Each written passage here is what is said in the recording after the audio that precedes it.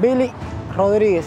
Bueno, vengo de la isla de Cuba, soy 48 kilogramos, soy la primera figura ya en ese peso, ya que soy doble campeón nacional y campeón de América en esa división. Normal, ya estoy adaptado a esas cosas, no tengo, no siento impresión por ninguno, solo nada, está ahí y que Rin diga la última palabra a ver qué pasa.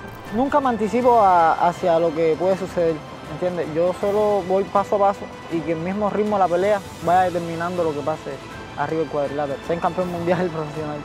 Bueno, esta pelea la acabaré por lo alto, como la acaban los campeones, antes de llegar al último round.